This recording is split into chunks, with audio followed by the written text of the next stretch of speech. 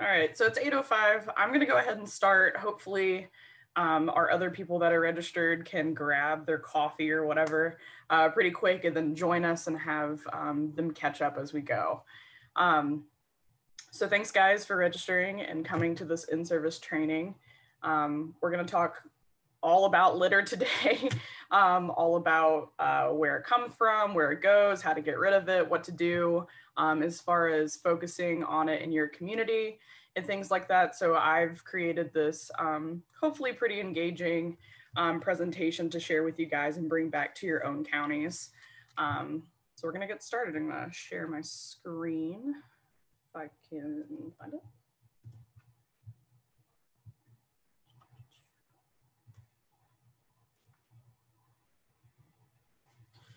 Alrighty, so today we're talking about addressing litter issues through extension programming. Um, my name is Jesse James. Uh, gonna get to some introductions here. So my name is Jesse James. Um, I'm an extension assist, an extension associate. Oh, that is a mouthful. um, here at MSU, I have only been here since last July, um, but I have learned a ton, a ton, a ton about litter and um, trash free education and all sorts of good stuff in the past five, six months. And I'm so excited to share it with you guys. Um, I'm also the Mississippi Inland Cleanup Program Coordinator. And we're going to get into um, more depth about that later as far as what I do and what that means. Um, but essentially, I am working towards doing lots of uh, litter cleanups and trash for education in our southeastern counties here in Mississippi. Um, so looking to get the ball rolling on that and getting some of those started up this spring. Um, and then I'm gonna let the other two people on this call introduce themselves. So Eric, you wanna start with you? Hey, I'm Eric. Um, I've probably interacted with most of you at uh, meetings back when we can actually ha have those in the past. Um, been at MSU for um, almost six years now, but marine scientists um, do a lot of marine extension work. And hi, everybody. My name is Mandy. I've been at the CREC down in Biloxi for four years now, and I lead uh, the coastal cleanup program. Um, I think I've met a few people before, but if uh, I've only been emailing you for four years, it's nice to put a face to a name. Excellent. Thanks, guys. Um, so obviously, Eric, Mandy, and I work really closely together on um, this trash-free education um, through our different programming and things like that. So we're kind of the go-to on this sort of thing. Um, so as far as this training goes, um, it's going to be, you know, kind of just a lot of information up front, but I'm hoping to have a lot of places to stop and kind of share what um, you have going on in your counties or if you have any questions along the way. Um, so if you do have a question, feel free to stop me as we go along. Um, so like Mandy just mentioned, so we're located at the um, Coastal Research and Extension Center. So CREC um, is located in Biloxi, Mississippi, that is on the coast in Harrison County. Um, and that houses the Coastal Conservation and Restoration Program, which Eric is in charge of as well. Um, so all of our trash-free education and cleanup programs are based out of Harrison County. Um, and later on, we're gonna get into as far as like where Mandy's program's jurisdiction is, as far as mine, um, but we're really looking to extend further inland. Um, and that's pretty much why we're here today is to talk about, you know, moving this, um, even though we're located on the coast, we really want to engage um, our inland folk and get y'all, you know, kind of exposed to the litter-free education and cleanup aspect of uh, our world down here. Um, so just some objectives and goals for today. Um, this is just kind of like a loose outline of what we're going to be going over. So we're going to be talking about um, the magnitude of litter issues, the types of litter, um, sources of litter, the impact of that, and then ways to prevent and remove that. And in talking about these things, the goals that we have for that are, of course, identifying and sustaining natural resources, uh, maintaining vibrant communities and businesses, uh, building up our youth through positive programs like 4-H, and strengthening our uh, families and sustaining them through family consumer sciences.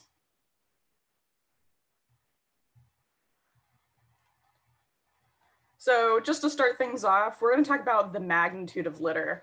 Um, so litter, especially plastic, is one of the greatest overwhelming threats to our natural environment. Um, if you live on Earth, which all of us do, it affects you in every single way possible. Um, and that's a little overwhelming to think about sometimes, especially for me and Mandy, um, just the magnitude of our jobs and trying to, um, you know, really convey to people and educate people just how much it affects each other um, is a little overwhelming, but we're going to try to keep it a little bit um, manageable today and just kind of touch the surface on how big litter issues are. Um, most mismanaged litter often travels through waterways, through watersheds, rivers, oceans. In Mississippi, especially the southeast portion of our, uh, our state, has tons of those, tons of watersheds that lead out into the Mississippi Sound and ultimately the Gulf of Mexico and the ocean. Um, so we definitely are a good candidate for having mismanaged litter issues here. Um, so as far as litter, um, it has um, habitat impacts. So the entanglement of animals, uh, you know, is never good. It causes the ecosystem structure to change so that introduction of trash and litter and things like that is going to change just everything about the ecosystem, the way, um, you know, our water is distributed throughout the land, the way animals migrate, the way animals reproduce, um, oxygen and light levels get depleted in water bodies if there's a layer of trash at the bottom. Um, you know plants aren't getting nutrients and things like that. I mean those are just a few examples that's just touching the surface on that. Um, as far as chemical uh, we all know that of course plastic is mostly uh, petroleum product. And um, of course that is made up of chemicals and that gets leached into the environment um, I could use all sorts of fancy words and chemical terms, but that's basically what it breaks down to, no pun intended. Um, but through bioaccumulation, all those toxic ingredients get into the environment, and then we're either drinking that water, eating those um, byproducts out of the environment, and it's just it's just not good. Is the bottom line. Um, and then things like weather and UV radiation, so sunlight, or even mechanical exposure can speed up the chemical impacts of litter. Um, so if there's a, you know, if there's trash in the environment, there's just a pile of it. Um, the weather can break it down. Sunlight's going to break down those chemicals inside the plastic bottles or plastic bags. Um, or even, you know, here on the coast, like wave impact, so that mechanical exposure can really just help break down those pieces even faster in the environment some biological impacts, which kind of just goes along with everything else. Of course, uh, fauna can ingest the harmful litter, and that can cause in, uh, inefficient feeding, mating, or mobility. Um, one of the biggest and probably our favorite example to use is sea turtles in plastic bags.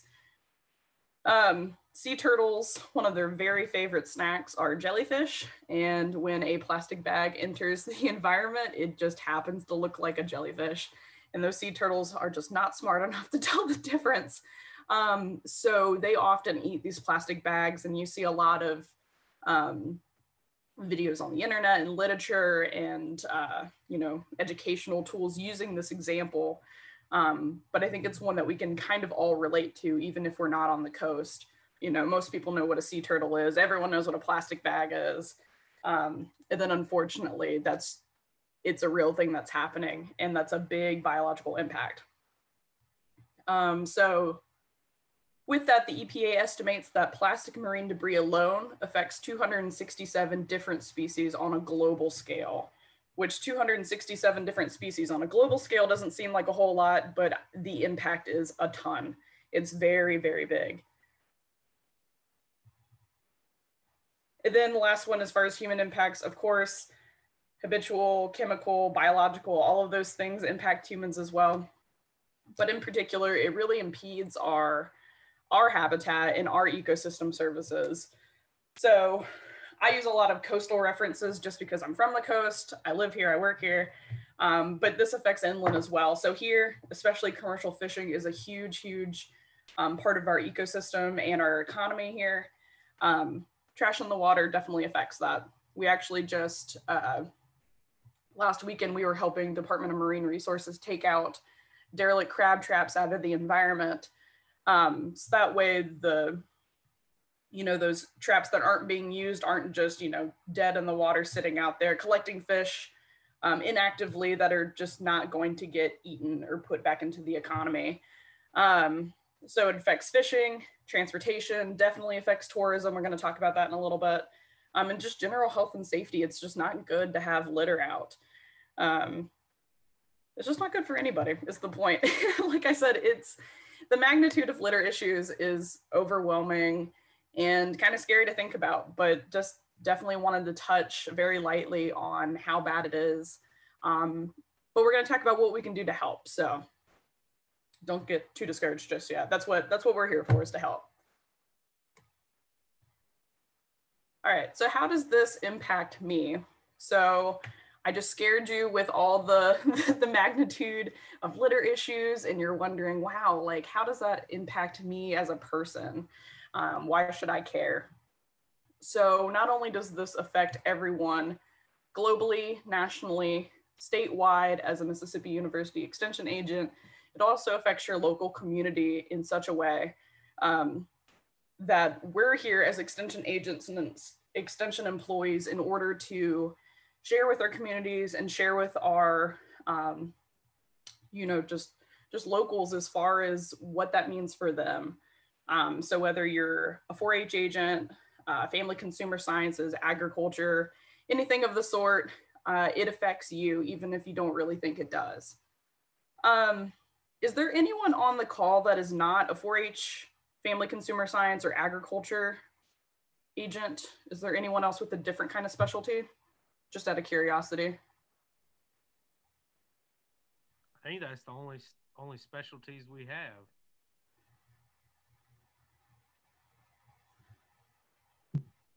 Okay. But are there any um like FCS agents on the call?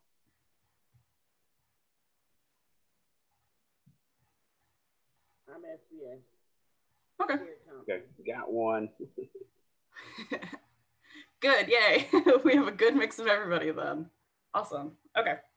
Um, so with these, uh, you know, these different specialties and areas that we're all um, experts in, we're going to talk about how that impacts each one of us differently um, and specially.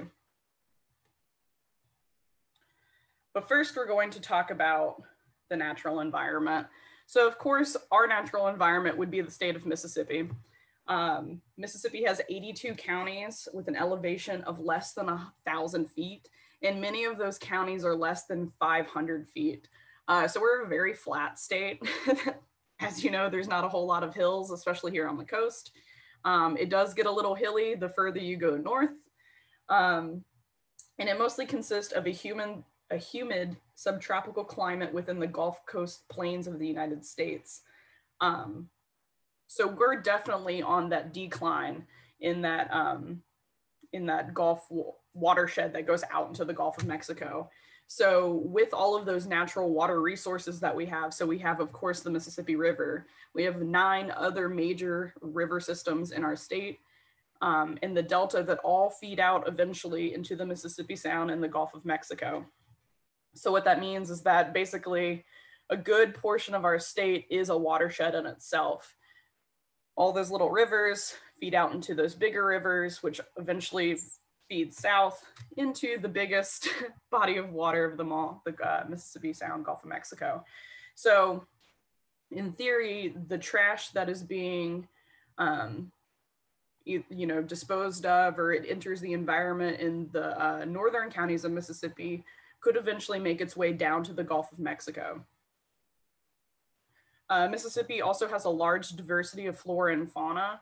Um, we have quite a few different types of landscapes in Mississippi, which makes it pretty unique. Um, oh, excuse me. As far as having forests, we have salt marshes, grasslands, and pine savannas. Um, and that offers lots of diversity for um, animals as well. Our economic activities include um, primarily in agriculture, fishing, timber, and mining. And then our secondary uh, economic activities are the production and manufacturing of goods and products, as well as tourism. And so I'm telling you all these things, uh, which we probably already know either just by living here or working here in the state of Mississippi, um, is that we know that Mississippi is a special place. It has diversity in people, places, um, obviously the natural environment, and it's worth protecting. It's worth thinking about how to make it better as far as what can we do to make this place better. And as far as taking litter out of the environment, um, it improves all of these things and improves our economic impact as far as uh, tourism. It affects uh, keeping the diversity of flora and fauna up and things like that. So as far as the human interaction, um, this theme can be found anywhere in the state where there's human settlement. So if there's humans, there's going to be an impact and an interaction on the environment. As we know, the Mississippi River has played an essential part of our state's history. Um, it has those millions and millions of gallons of the rich water silt that flows down into the Gulf of Mexico and the surrounding lands, um, a, you know, a lot into the Delta and down all the way through the uh, western part of the state, which creates some of the most rich and fertile soil in the world. So of course, of course, why wouldn't we want to protect that? Why would we want to, um, you know, let pollution and let litter build up in that area and not do something about it if we had the chance? And then some other examples of, you know, um, human environment interaction besides litter and pollution in our state and in our waterways um, would also be things like uh, kudzu. Uh, kudzu just taking over. Um, as far as trying to keep that erosion down. Um, and then the production of bulkheads here on the coast are a pretty big uh, human environment interaction that Eric, I'm sure could go off on a tangent about, but that's a whole different presentation. All right, so now that we've, um, you know, talked about the magnitude of litter, how that impacts you or, you know, me specifically, um, and then the natural environment of where we are and why we should be protecting this area, we're going to talk about how you can incorporate trash free programs into your specific uh, areas of expertise. So as far as agriculture and natural resources, um, really the best thing that you could do is of course educate your local community on litter free and uh, trash free education. So that's exactly what we're doing today. You can take what you've learned today, bring it back to your community, um, and let them know what you've learned. And through us, you can actually schedule community cleanup. In uh, later in this presentation, we're going to explain how to do that. Um, and if you actually want to start your own cleanup, how to go about doing that. But a lot of our natural resources, so here are coastal beaches, but especially up north, our state parks and our campgrounds, heavily rely on nature-based tourism. Um, and we've learned that, of course, trash is a primary deterrent from these uh, tourism spots. Um, so there was a study done by NOAA that looked at four coastal US communities. Um, and they estimated that by creating these trash free programs and these uh, marine debris cleanups, they actually produced an additional 217 million tourism dollars created um, by introducing these programs and these cleanups. So they were actually able to boost their uh, tourism revenue and they were actually able to create uh, 3,700 new jobs out of it. Um, so it is proven that, you know, cleaning up and taking out these, um, you know, just these eyesores out of the environment actually really improves tourism in the economy and things like that. And it's also been inferred that property value decreases with litter issues. Of course, you're not going to want to, um, you know, build property or purchase a house if it's um, next to an area that's just overrun with litter. Um, and then of course, microplastics can of course be found in our waterways and our drinking water due to this litter problem. Um, we have in the past worked um, with looking at microplastics in drinking water samples. And at one time we did have a, um, a microplastic sampling map, which was really interesting to look at. Um, we'll possibly maybe start doing that again in the future. But the best thing you can do as far as um, A&R and things like that would be to schedule a community cleanup or start one yourselves and just really get your community involved um, in doing those sorts of things. So is there anyone on the call that is um, a specialist for A&R that you think you're missing some sort of component of trash-free education or litter awareness that you would be really interested in implementing this in your own community?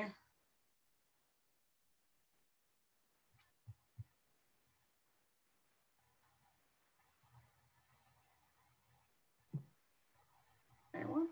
Yeah, as I mentioned on the call yesterday, um, for those of y'all that were were on it, like we do have a grant that supports um, a, pretty much most of these activities uh, that would occur over the next three years, maybe four years if we're able to uh, extend it out a little bit. So there's there's definitely support there. In addition to the people support, there's um, supplier support and advertising support and all that kind of stuff. And I wanted to add a quick comment as far as like an economic impact of marine debris.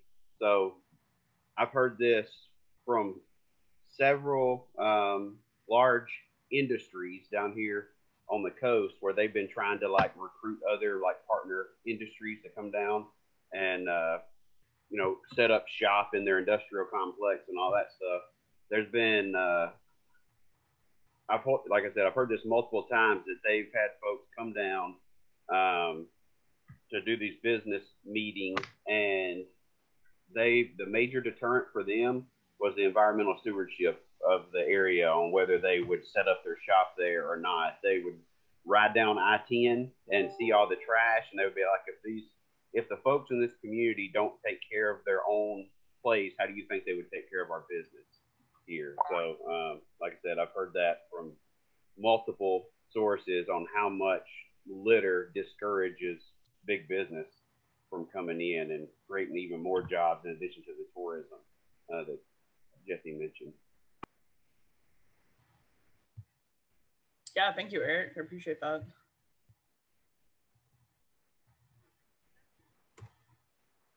All right, so moving on from A&R, but a, you know towards 4-H, um, practicing in these inland and coastal uh, trash removal programs can help um, 4-H students apply the essentials um, of what they're learning in 4-H to the environment.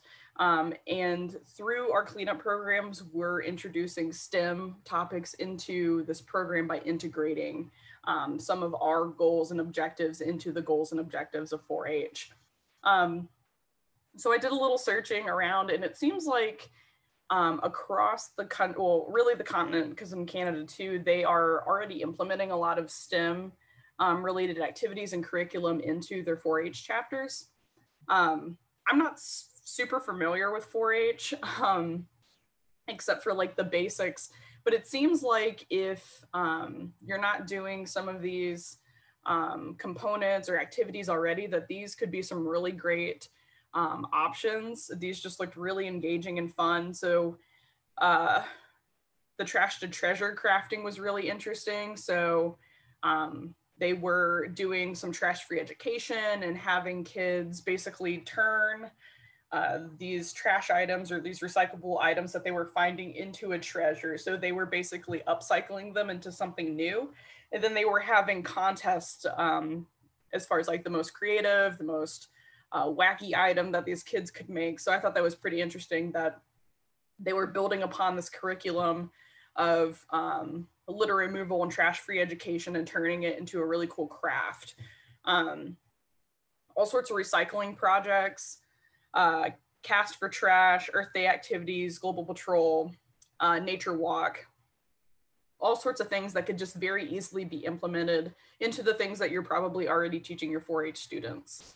Um, we're also going to talk about this much later on in this uh, presentation, but um, we have a Google Drive that is chock full of um, activities, information, curriculum pieces that Mandy and I have kind of collected together to give to you guys. Um, so we'll talk about that much later and as far as how to go about accessing that. Um, but I put quite a few of these 4-H projects in there as well, just because I thought they were pretty interesting.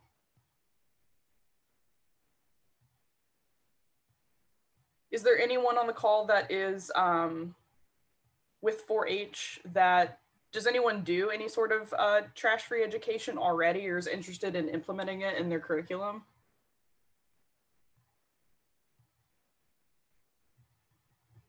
See Dawn put a comment here in the chat box about the president of the Federation of Women's Club. Yep, so they have a major uh, plan to recycle it pickup project.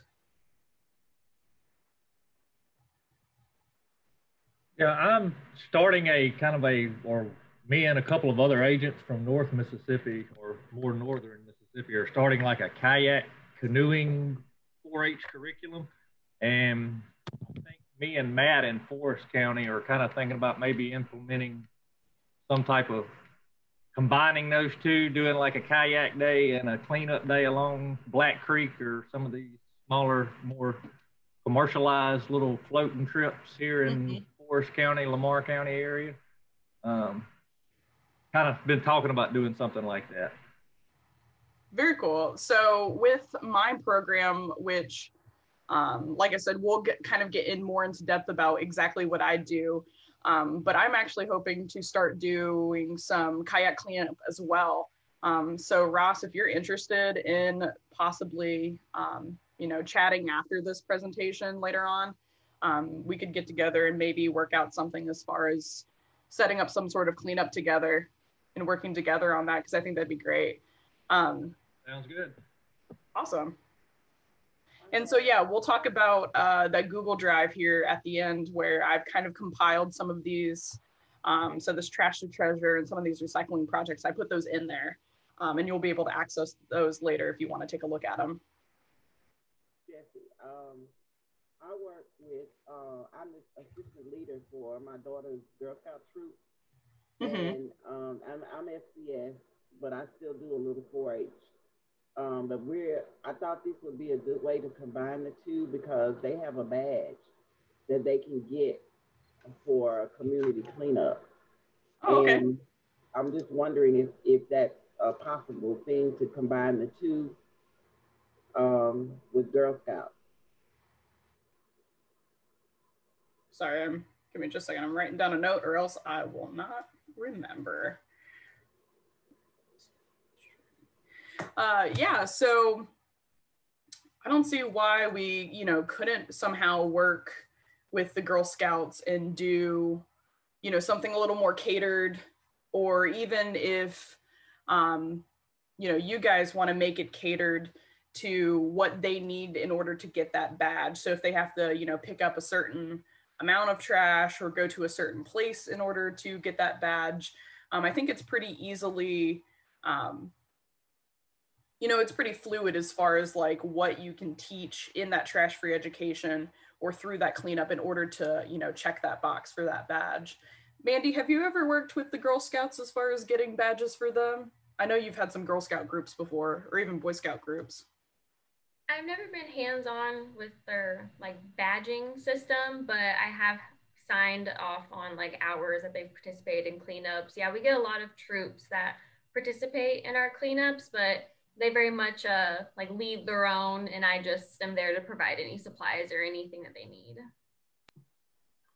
Yeah and just jumping on that i i have um, like signed off on it, the volunteer forms like mandy mentioned but also some like special project projects by girl scouts and boy scouts um, to get their you know I, I forget what the equivalent of an eagle scout is in girl scout but there's we've done several eagle scout projects um, throughout the center. So I'm relatively familiar with the process, but refresher would be welcome. But I, I mean, I feel like if the qualifications are met to get the badge, then we can definitely make sure the documentation's there to, to help with that. Easily, for sure. Yeah, that'd be that'd be something interesting because now I'm kind of interested in uh, learning more about that. So I'll have to take a look over at the uh, the Girl Scout website as you know, as well as the Boy Scout website, and just see what what necessarily they would need for those badges, and see if we could just easily add something in um, to you know help cater to them as well. That's a good suggestion. Oh, there we go. Um, and then our last one is family consumer sciences. Um, so as far as this section goes, this is probably the specialty that I know the least about. um, so if this is your area of expertise, I would really like to hear from you. Um, but you know, just flipping through some of the curriculum that you guys teach, I thought that Cooking Matters was a really good program that you do that trash free education could easily easily be implemented in. Um, do kind of like a very short um, introduction to composting. Composting's a really great way to take, um, you know, food waste and things like that and turn it into, um, you know, something else that can be used. So you're upcycling that food waste into compost, which you can use uh, for gardening or uh, landscaping and things like that. And it's just a good way to break it down back into the environment. Uh, you could also talk about uh, reducing plastic usage and waste in the kitchen. There's lots of resources on how to do that. I've got quite a few of those in those Google Drives as well. Um, but that was just really the first thing that I thought of that could really be interesting as far as, um, you know, these families and these children are already learning how to, um, you know, eat and cook and shop uh, thrifty and healthily and things like that, why not just add an extra component of how to do that a little more environmentally friendly or economically friendly um, and things like that. So thought it was pretty interesting. And then of course, family cleanups. Um, so the cleanups that Mandy and I run, um, of course, are specific events, but cleanups just don't have to happen at those specific events that we run. Of course, you can uh, pick up the immediate areas around your neighborhood um, and you can actually still submit data to the data system that we use. And we'll talk about that a little more in the future.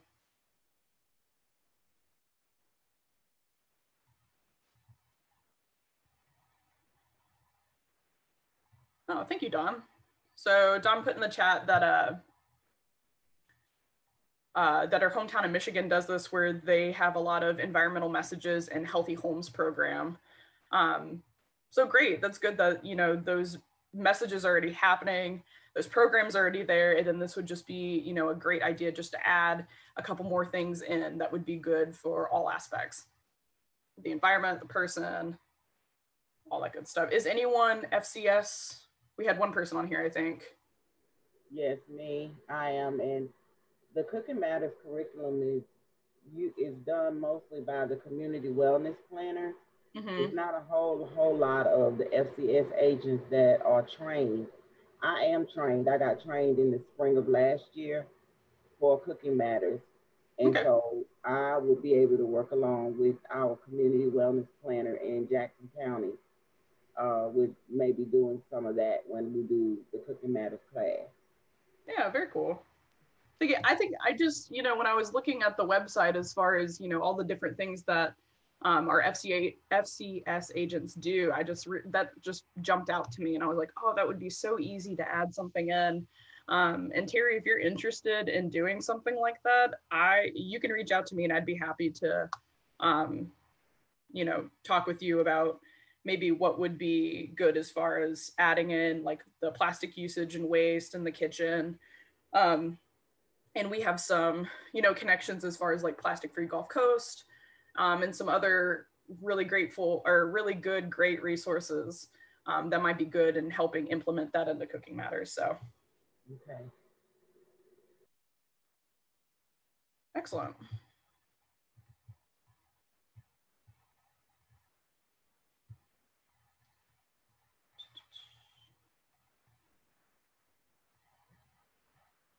okay, sorry, Don. So Healthy Homes is here.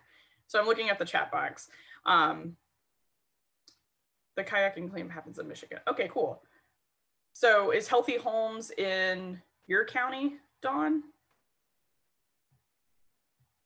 Or you mean here is in Mississippi? Yeah, national. Okay. In, um, in on the coast area that do healthy homes. Um, I know in Hancock County they do it, and I, I'm sure Dawn is doing it over in Pearl River County. We don't mm-hmm. do it in mm-hmm. Jackson.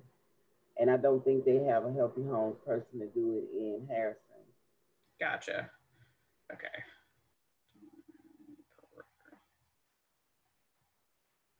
So like I said, FCS is is the least is the least that I know about, but I'm I'm really happy to learn and like put all these connections together. So this really helps me a ton. I appreciate that.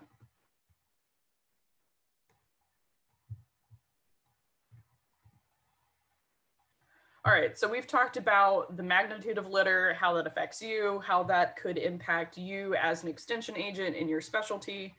Um, but really, what is litter? Um, so you'll kind of hear us use the inter interchangeable words of litter, trash, um, things like that. But what does that necessarily break down to? So there is actually a difference. Um, so trash is like the dry paper packaging from your household um, or I'm sorry, it's dry paper packaging. It's not household waste. Um, so trash is like uh, any kind of paper waste or packaging, boxes, um, the cardboard that comes in packaging, things like that, um, that's easily recyclable um, or you know disposed of. Litter is typically cans, bottles, paper that um, people so it's like the stuff that you find on the street or in public places. So it's stuff that we use daily um, and it's small enough to where it finds its way into the environment a little easier than other things. So like candy bar wrappers uh, food food products mostly. It's things that we should be throwing away and recycling but you tend to find them more in the environment because we're using them more often. We're on the go a lot. Um, so litter is mostly things that you'll see people lying around or trying to throw away and it just doesn't end up quite in the receptacle properly. And then garbage is household items. And so those are a lot of like wet things like food scraps, um, any kind of like just kind of gross garbage that you're throwing away out of your household. Um, so there is a difference, but you'll kind of hear us use those words interchangeably. Um, but this little video that I have on here actually has a pretty good explanation of the difference of uh, trash. Trash versus garbage. Is there a difference? Well, my grandmother taught me that trash means plastic, leaves, metal, tires, wood, etc., and garbage means food waste. I guess what we might now call compost. This linguistic distinction wasn't something I'd ever learned in school. I mean, to me, this is a trash can and this is a garbage can. But the Oxford English Dictionary records trash as originally meaning broken or torn pieces of wood, twigs, splinters, cuttings from a hedge, straw, etc., while garbage originally meant giblets of a fowl or entrails and waste parts of an animal. In fact, the earliest record of the word garbage in English is in a 15th century cookbook recipe for giblets. Taka fera garbages of chicones, hasta head of the feta the liveris and the gizeris, washaham cleaner and castaham in a fera pota, and so forth with beef broth and salt and saffron. So grandma was right. These days, however, many of us in the US use the words garbage and trash interchangeably. And if you live in the British Isles, well, rubbish.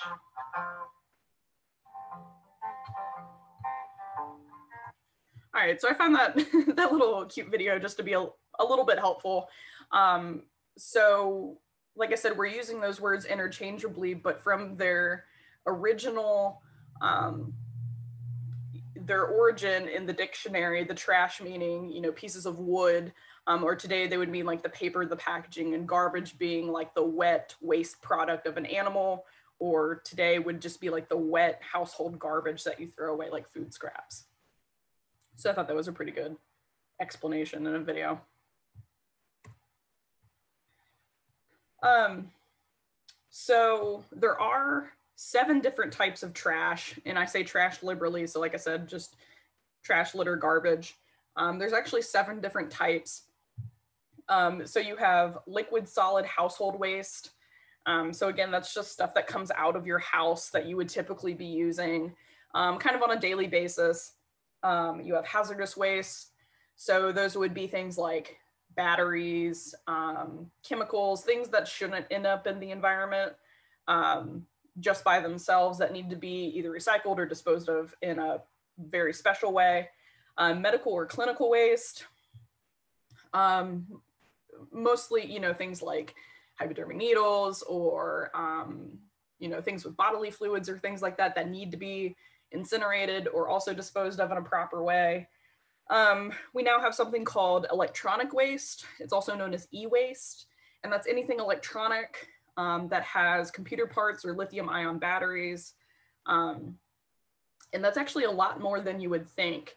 So it includes a lot of like kitchen, kitchen gadgets now, things that you wouldn't really think um, need to be disposed of in a proper way.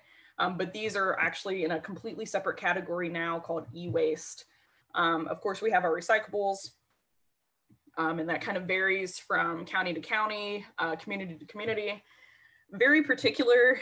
Um, so I live in Harrison County, and I live in Gulfport, and we have a very weird um, recycling uh, company. So the recycling at my house does not take glass for whatever weird reason, but I know um, in Jackson County they'll take glass, uh, but they won't take other things. So recycling really depends on your specific location with your specific uh, recycling provider and things like that. So you've got to for sure double check to make sure that they're taking um, certain materials and things like that, or you'll end up like me and recycle glass for a couple weeks and then realize it's not supposed to be recycled in your county and uh, basically all the stuff I tried to recycle was thrown away because I was putting glass in the recycling bin.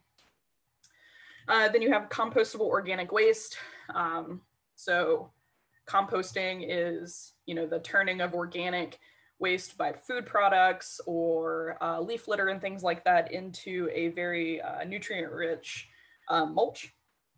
And composting actually has a lot more to it than just throwing uh, waste into a pile, there's actually uh, kind of a really interesting science to it. You have to do it a certain way. You, there's certain things you can't put into a compost pile. Um, so it's it's a little more in depth than you would think of just uh, putting these in a different bin. And then our last uh, categories we have construction debris. Uh, so things like metal nails, uh, sharp objects like saw blades, things like that.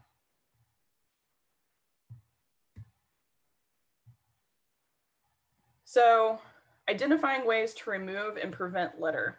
So now that we know what litter is, garbage, uh, what kinds of litter do we have, what's recyclable, what's not, um, how do we remove it? How do we prevent it? So removing litter uh, would of course be proper disposal through recycling or through your uh, garbage pickup. So I would really encourage you to um, take a look at your local uh, recycling and uh, garbage pickup um, website and just see what they have to say and offer for your community. So, like I said, in my particular uh, city, they're very particular about our recyclables. Um, I actually have to take all of my glass products and recycle them somewhere else in Harrison County. Um, so that's something I've had to learn, but it is different for uh, most places. So I would just encourage you to take a look at uh, their website and see what they have to say about that. Um, as far as community engagement, um, cleanups and events. So Mandy and I run those uh, cleanup programs where we uh, coordinate these programs with the community and we have a very, um, very engaging and excitable volunteer base that helps us with those events. And we also do a lot of outreach um, and education to our local communities. Um, but it would be good to have uh, more small group projects and activities, especially through our extension agents to really help drive home this removing litter um, from the environment curriculum. And then preventing litter. So of course, more education and outreach, education really leads to action. And that's why we really preach about um, getting out there and doing trash-free education and really letting the uh, community know, you know, what's going on, how does it impact them, um, how do you properly recycle in your community? Because uh, we've learned it is different. And then ultimately stopping litter at its source, which kind of seems like a daunting task um, because how do we do that, um, you know, with the power that we have? But that's all about reducing trash at a, um, a consumer level. So every time we go to the grocery store, um, you know, we could be teaching the community to make better choices, not necessarily different choices, but what's the best, um, the best choice um, to optimize preventing litter with what they have. So really teaching, um, you know, that you don't have to buy necessarily special things or expensive things in order to help prevent litter from uh, entering the environment, but you could just actually make a better choice out of uh, what you have. Um, so those are some ways of removing and preventing litter. And I think, oh, no, okay, we got one more slide, then we'll take a break. Um, so how to get involved with preventing um, and removing these litter sources.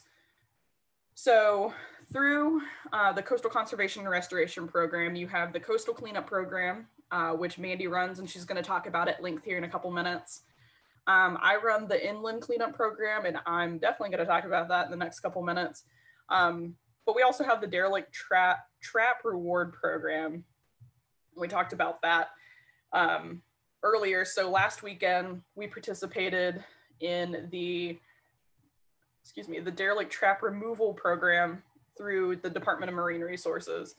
And the Derelict Trap Reward Program um, gets together the community here on the coast and works directly with uh, fishermen in order to um, receive reward for any of these derelict traps that they're bringing back in. So what we've done is we've explained to them, you know, how necessarily this marine debris is bad, this litter is entering the environment, it's entering their world. How does it impact them, and how can they do something to um, work towards fixing it, right? So the derelict uh, trap reward program is really interesting that we've been able to take this um, this group of fishermen that might not necessarily um, care or understand why you know why litter in the uh, in, in the environment is bad or whatnot, but to be able to show them that it does directly affect them. And then we have other uh, litter prevention and removal um, resources available at nolittermovement.com. Uh, so we've recently launched that with some local uh, local outlets in order to get this litter removal and prevention movement started. And we're hoping to update that as we go as far as um, who can help you guys, who can help us. Um, if you're interested in doing something in particular as far as um, a cleanup or trap removal or um, oh, I'm trying to think of who else is on there. Keep Mississippi Beautiful, things like that. We have this website where all of that is in one place and you can go and find what you need to find in a very simple, easy to navigate website. Wow, so Don's saying that there's no recycling in Pearl River County. Trash pickup is by local vendors, so most people don't want to pay these people or they're because it's a pickup. Wow, okay. That's interesting.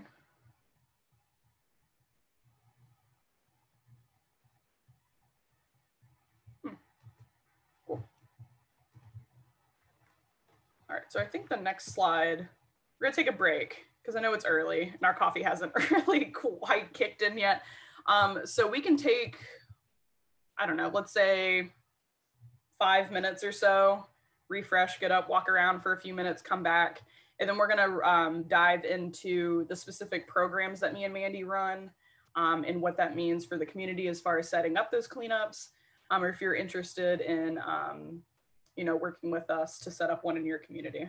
Um, so let's take about five minutes or so and we'll come back at 8.58 and restart.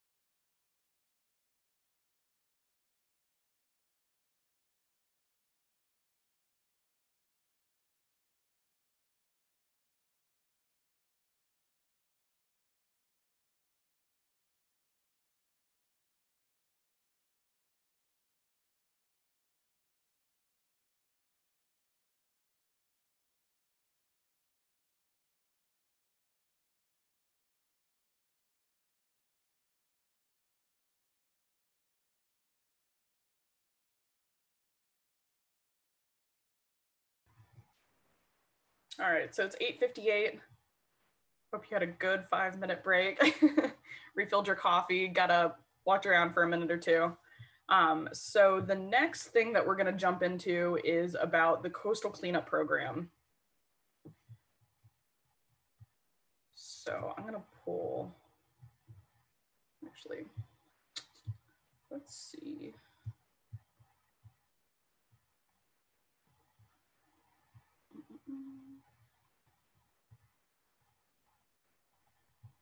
You want me to pull up on my end or you just want to advance the slides for me? Yeah, I was looking, I was trying to make you the host, but I don't think I can, but I'll just advance the slides for you. So okay. I'll we'll work from there. so Mandy's going to jump in and um, talk more about her program. So take it away, Mandy. Take it away. Can you share your Yep. screen? Oh, I can yes, I remember what I'm can. talking about. I was just wondering where everybody went. Sorry, got ahead of myself. There we go. During our five minute break, my little dog decided to squeeze up behind me. So I have like this much chair space. So if I exit the screen, it's because I was officially booted off the chair. Um, but hi, everybody. Good morning. Um, my name's Mandy. I run the Mississippi Coastal Cleanup Program. Um, I have for the past four years after Eric took it over um, uh, five years ago, I believe he's actually had it. Um, so we started off pretty small um, as, a team. It was kind of me and Eric at first uh, back in 2016. And the Coastal Cleanup Program was also fairly small. So the Coastal Cleanup uh, event has actually been around for roughly 30, a little over 30 years. Uh, but MSU has only had it for the past four years or five years. Uh, and so it started off as one annual event that brought in multiple volunteers.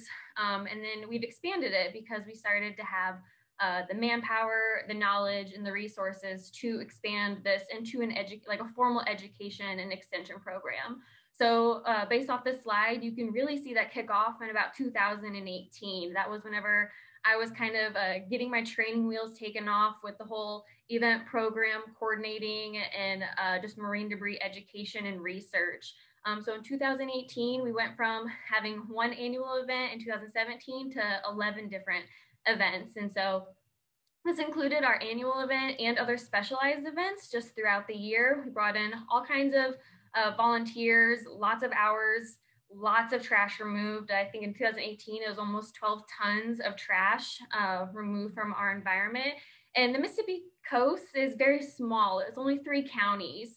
And so if you were just kind of broaden that into Jesse's range of where she'll be for her program, that's what 21 counties, Jesse, I believe, including the three down the coast. So the amount of impact that she's going to have with this program is going to be insane because I feel like in my three little counties, we've hit quite a lot. So I can just imagine what she'll do with uh, 21 or, or 18 of them because the three will still kind of be with the coastal side of things. But, and then uh, 2019, pre COVID, we had one of our most successful years with 20 events. That was uh, cleanups. Um, we also do outreach outside of our events. So whenever we're not out in the environment, actively picking up trash and engaging with volunteers, we're taking what we learn and the research that we do and we're bringing it into classrooms. We're bringing it to teacher workshops to find ways that people can integrate this into their daily lives.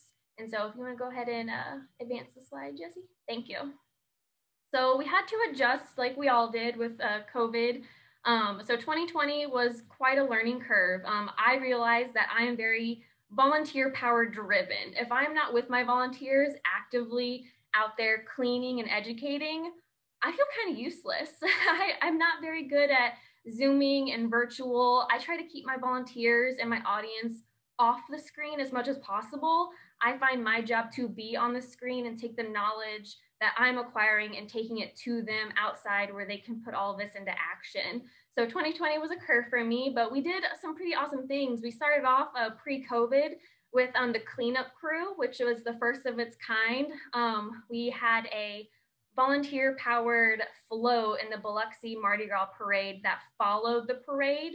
And as we followed the parade, we picked up trash and uh, we also uh, talked to the people who were attending the parade and asked them, hey, that trash at your feet, can you pick it up and put it in my bucket? Just to kind of show people that you can have Mardi Gras and be crazy fun and also try to keep things crazy clean because down here, I- I'm not from the South, so I didn't realize the magnitude of love people have for Mardi Gras. But it is it is an entire season down here. It has started and it is going to keep going for a few more weeks. Um, and it unfortunately leaves behind destruction. There's trash everywhere, and the trash stays around. Um, any of the Mardi Gras beads, trash, moon pies that are left out after these parades that happen weeks and weeks that all gets washed down um, from rain, wind um, into our Mississippi Sound. And we have um, an island right off the uh, peninsula of Biloxi called Deer Island, where all of that trash, all that Mardi Gras trash and beach just accumulates and it just stays there. And so whenever we're out there doing cleanups throughout the year, we'll find Mardi Gras beads still out there. Like we just had a cleanup, what, two weekends ago, and there were all kinds of Mardi Gras beads that were being found still um, along the coast. So that was pre-COVID. It was like a nice little shebang before COVID hit. Um, and then whenever COVID hit, we had to switch things up. So uh, the cleanup uh, program wasn't really allowed to host any events for the safety of our volunteers, but we still had volunteers who were eager to get outside. They were quarantined with their families. They needed nature. Um, and so we decided to do a request a bin initiative, which was actually super successful. And it just shows that you don't need hosted events by your program um, to have active engagement with volunteers. These volunteers would request a bin of supplies. Um, if they didn't know how to do a cleanup, talk with me one-on-one. Um, we would either Zoom or we would email and I would explain to them how they kind of would do a cleanup. Uh, they would collect data for us so we would know what they're picking up. Um, and they would come pick up their supplies, go do their cleanup, and then turn everything in. It was sweet and simple, fun and done. It was, it was great.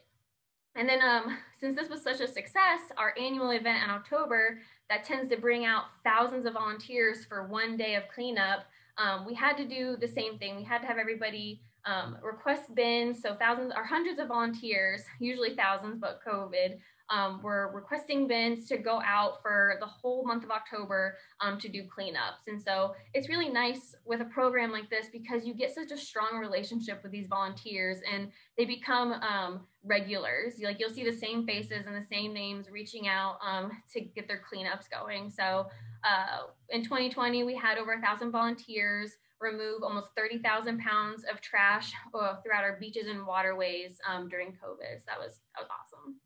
Next slide.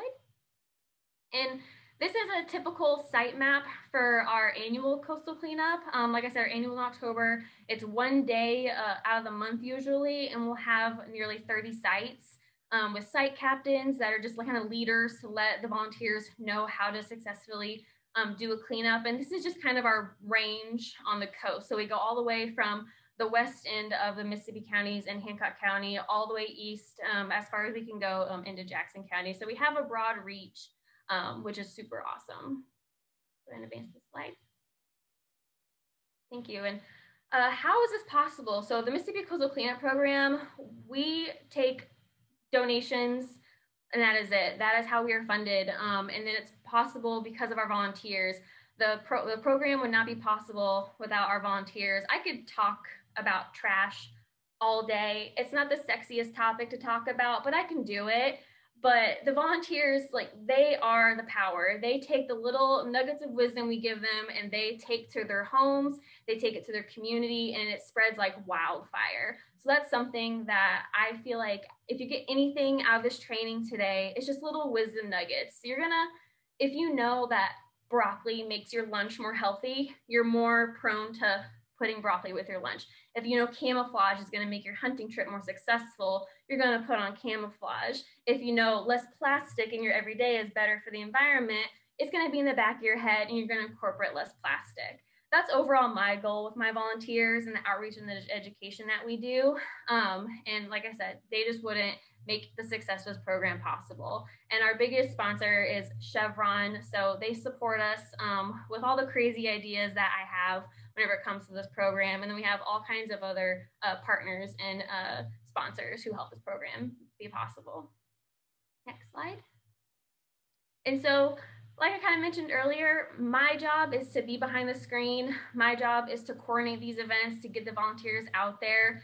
And one of my favorite parts of my job is to communicate this science, this jargon that um, the average uh, community member, somebody who just isn't very exposed to the science community that they can digest. And I do this through visuals because um, I'm kind of a visual learner. So uh, any of the data, any of the impact that we have, I'll turn it into infographics um, for almost all of our events.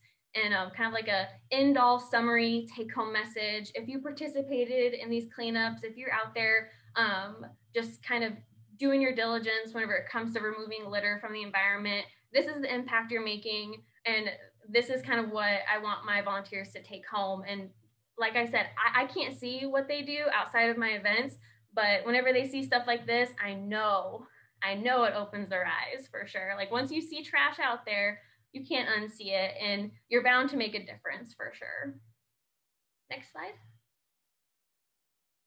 And so lastly, um, the, another one of the fair parts of this program is the education and outreach. So my entire job is to talk about marine debris and litter and prevention.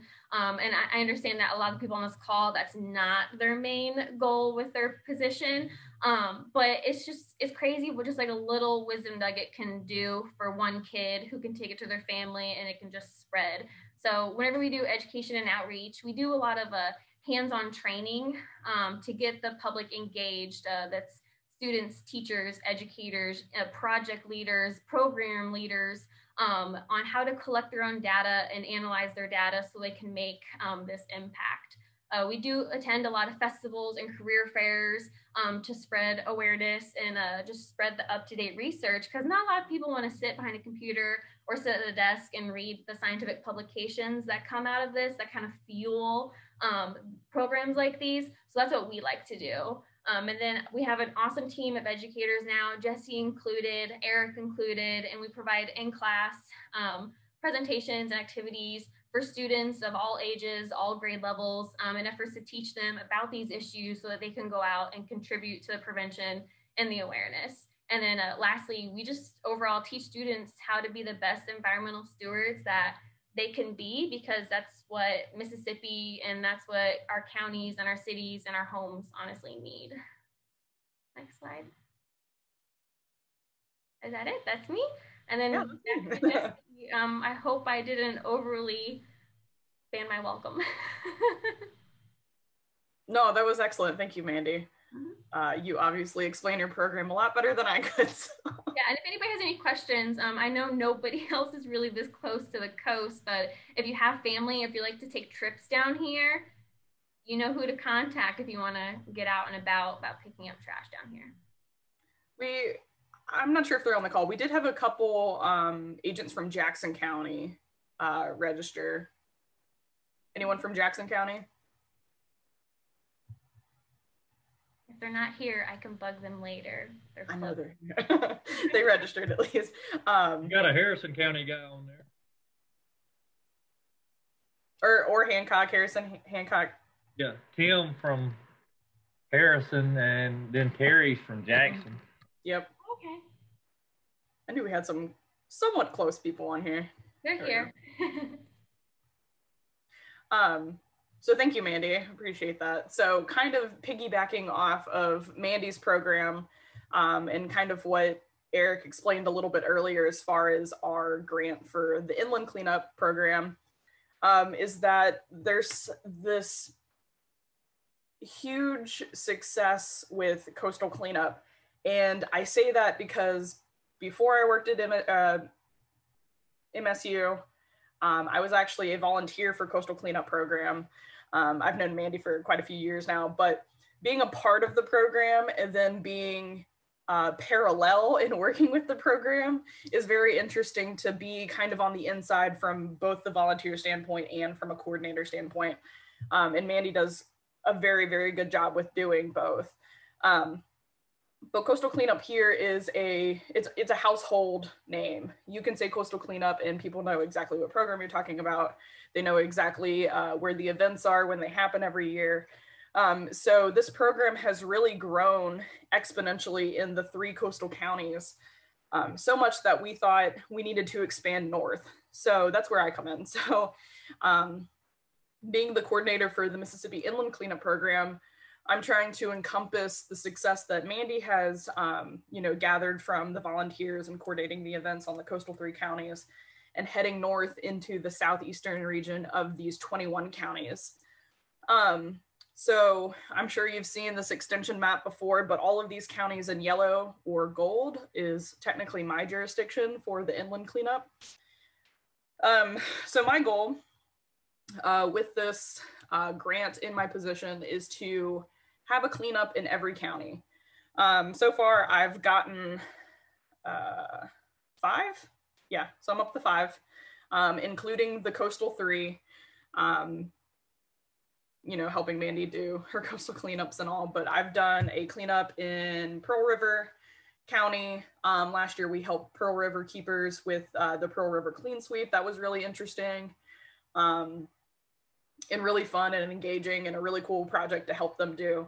Um, and then I'm about to do quite a few cleanups with um, some USM students in Forrest County. Um, and then hopefully expand from there. So like I said, I just started in July. Um, I'm slowly building up my program um, to be this big encompassing um, cleanup uh, trash free education program for our uh, region. So I'm hoping to get to be a household name a little a little further north. Um, do, do, do. Wow, this work. There we go. Um, so some goals that I have for my program in particular, like I said, really piggy piggyback off of Mandy's program, but it's just to increase the awareness of both local and global litter issues by connecting the public. Um, so the whole point is getting a volunteer uh, a volunteer base of local people in the community in order to help with these cleanups and help clean their community because they know it impacts them. They know that it affects them directly and they know that they can directly affect it by helping pick it up um, or educate others or bringing it to other communities and telling them about it. So with that, I'm hoping to implement some educational presentations uh, to advance community environmental literacy. So like Mandy said, uh, not a lot of average people want to read scientific journal articles. Um, some days I don't even want to read the scientific journal articles. They're sometimes a little too long, but that's a part of my job um, in being a science communicator and being able to use my educational and professional background to read those and basically um, translate them into an easier, more palatable um, way of being able to um, put those out into the community and be able to tell people, hey, scientists know, we know that litter is bad.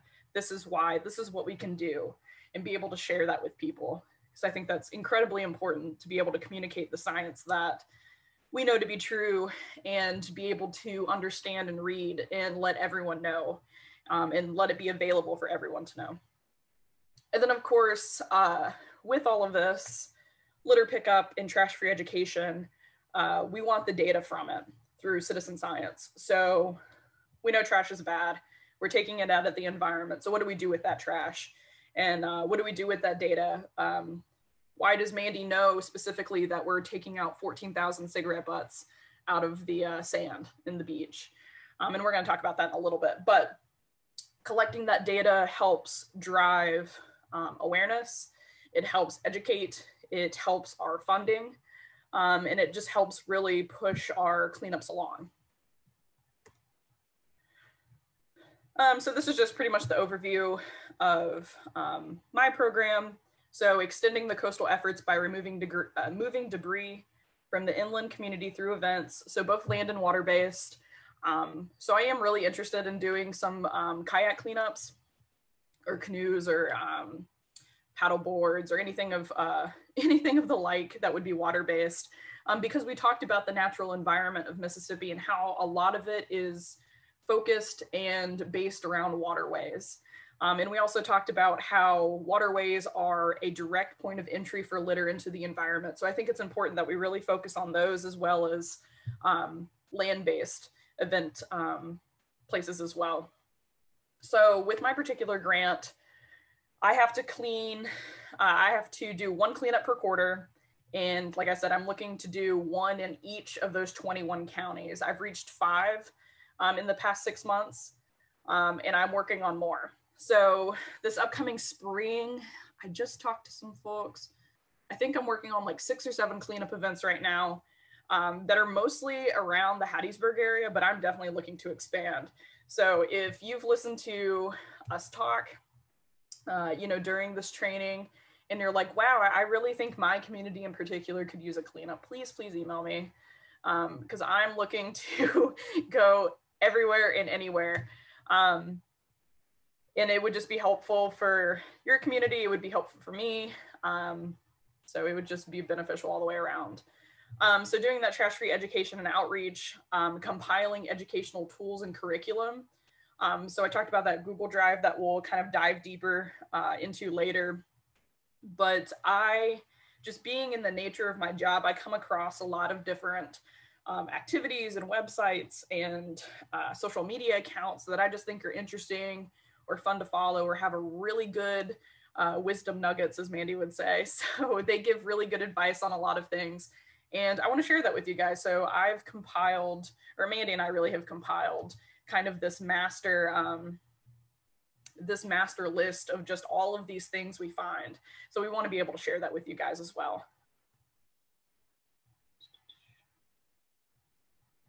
Um,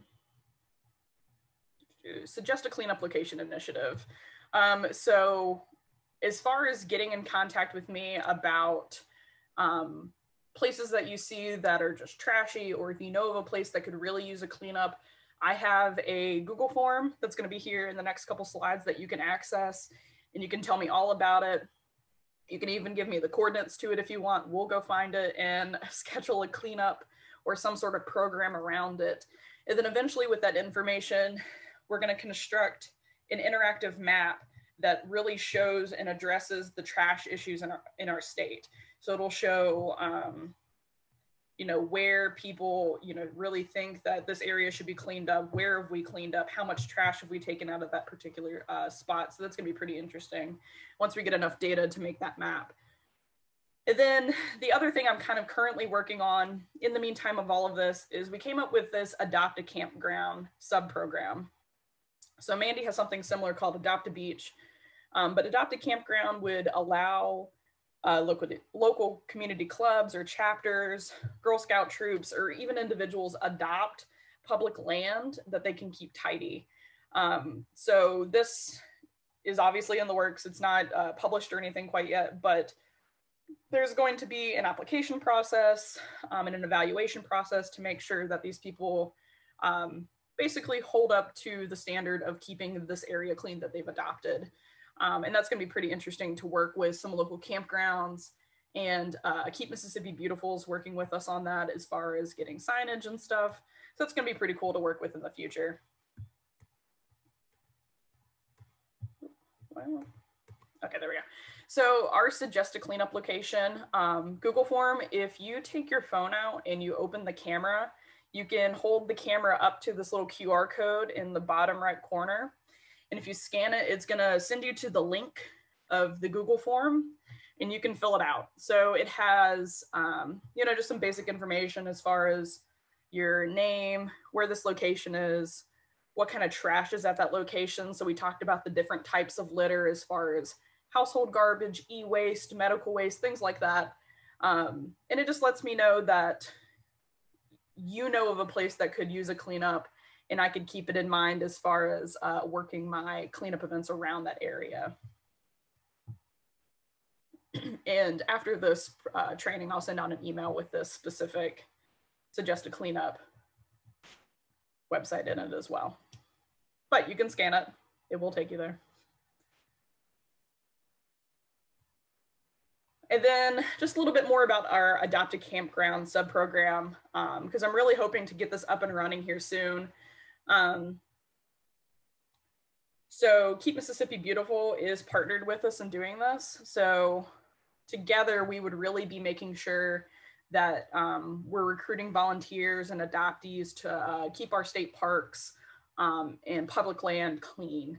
Um, we talked about how the natural environment really affects tourism. It affects, um, you know, all of these beautiful areas that Mississippi has to offer. Why not make sure that um, we're keeping them clean so we can continue to have an economic impact, have an environmental impact on these areas. that people want to camp at. People want to stop and, you know, admire the beauty of Mississippi that's mostly overlooked by quite a few people. Um, and to be able to do these things with a good educational background to it.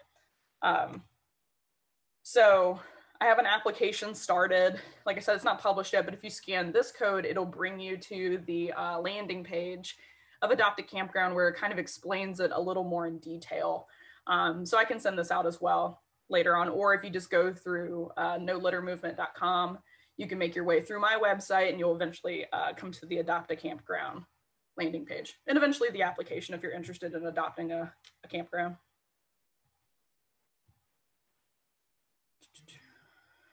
All right, so let's take let's take another five minute break and then we'll drive home all of the um, demos and the um, the data collection that we have to go through and things like that because that's just kind of heavy in numbers.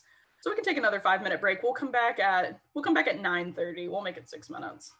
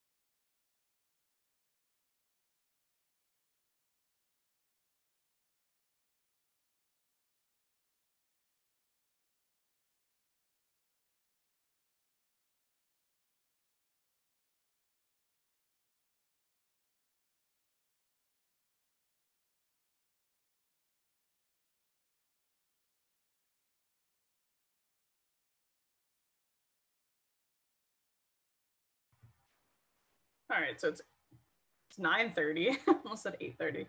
So 9:30. Get started back up.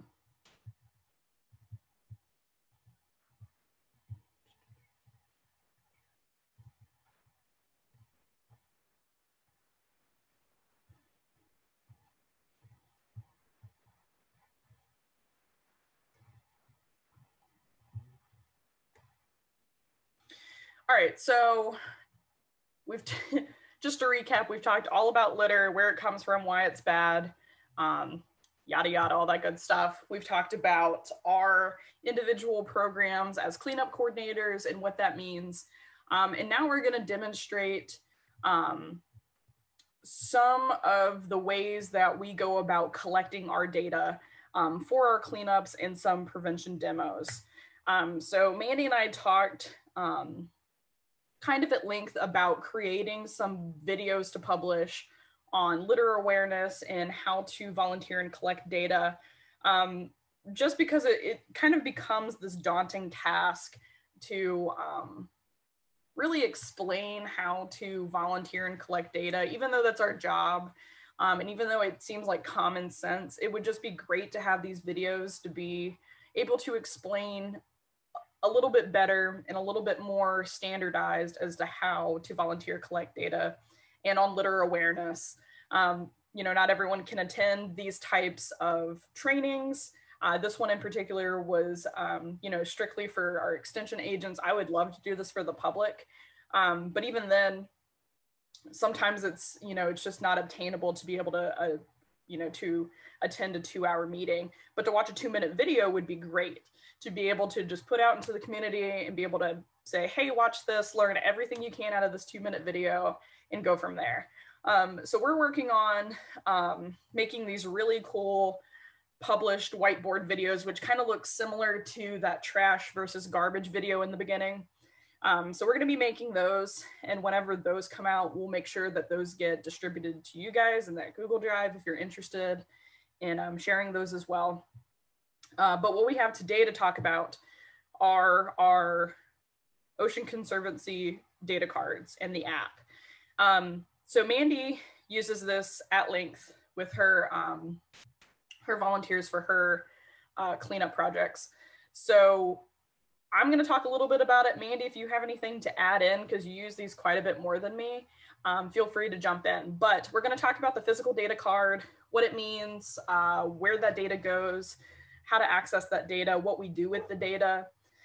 Um, and then as well as if you're interested in, um, you know, working with me to get an event started in your county, what we're really working towards is um, getting them started, getting the community engaged, but they're actually really easy to do yourself. Like once you kind of get it um, set up in this template of volunteers and in your area, you know, just getting the location and the time really pinned down. Um, we're able to, you know, give you some of these physical data cards or access to the app if you want to do them yourselves in your own community. So we're happy to walk you through that process and show you exactly what we do and explain a little bit further as to how we use it in order to get there. Um, so this is what the physical data card looks like.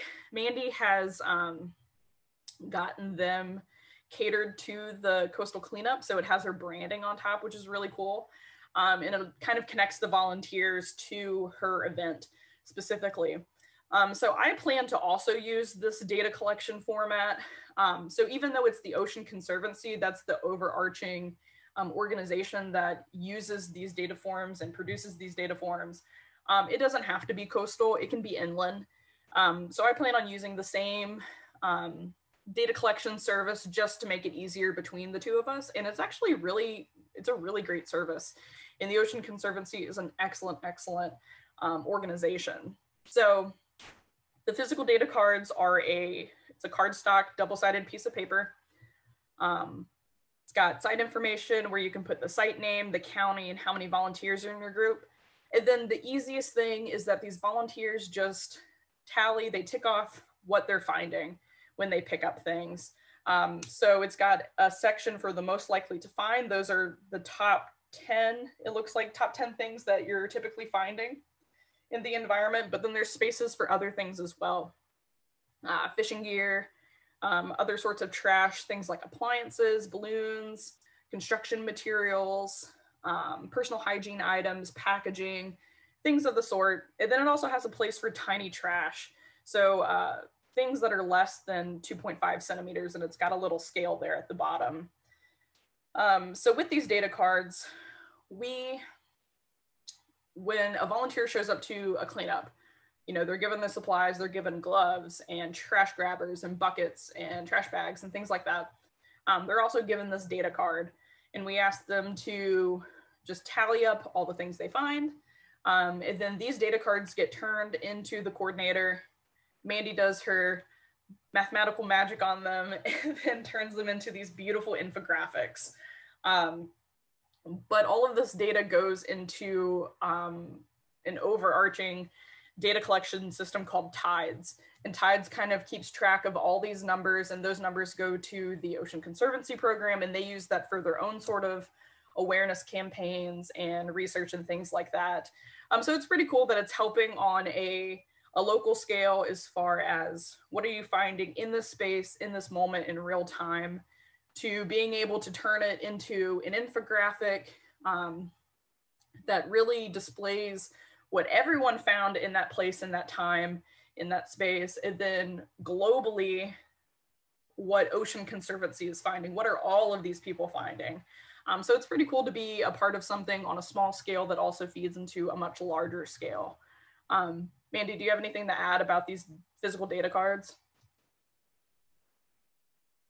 no, not really. Um, I do want to mention though, like if you were to um, go to the Tides uh, website, which I don't remember the URL top of my head, but if you're interested in like looking at this data and checking out what Jesse's talking about about this uh, larger um, uh, kind of take home message, it's really interesting. Like you'll see a lot of it's very uh, coastal or in the United States, coastal or Great Lakes focused but this is open for anybody anywhere throughout the nation. Um, it, it's kind of a bridge we're trying to gap with Jesse's program of of getting more inland areas um, acquainted um, with this kind of research and outreach because like jesse mentioned earlier litter and trash affect, uh, affects everybody um, everywhere so that's one thing I, I would mention because that's what i turn these uh, hard copy data cards into i put it um, into the intranet where everybody can see it, and um, then I forward them forever in my own office.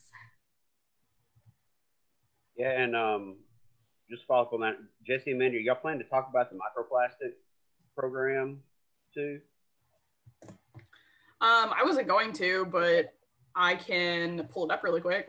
Yeah, I'll I'll I'll I'll do a, a quick rundown on it because it's like a I don't know, it's a thing that seems to like hook a lot of people when it comes to trash issues um, is through microplastics and a really easy activity to do with any school um, because all you got to do is collect water, filter it down, and count the number of plastics you find on the water. And don't worry, you'll find them everywhere. They're they're in bottled water, it's in tap water, it's in ocean water. Actually, more in bottled water than tap water than ocean water.